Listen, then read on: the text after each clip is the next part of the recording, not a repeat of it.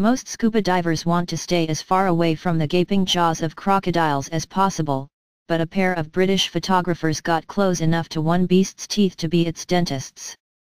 Nick Robertson Brown, 62, and his wife Caroline, 41, took close-up pictures of Niño the crocodile in December 2014 at Jardines de la Reina, Cuba.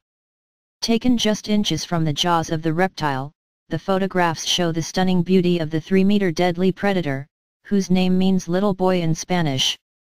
The pair, from Manchester, England, were accompanied on their journey by guide Gustavo, who made calls to Niño on a trip through the government-protected mangrove forest.